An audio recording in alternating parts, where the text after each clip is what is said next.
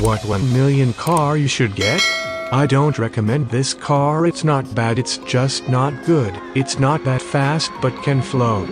Wouldn't recommend buying it for the first 1 million vehicle. Volt bike highly recommended but only if you're constantly solo. Its speed is insane and easy to control making it a great vehicle to get places only problem is the one seat highly recommend the helicopter due to it being fast and can hold many people also it flies.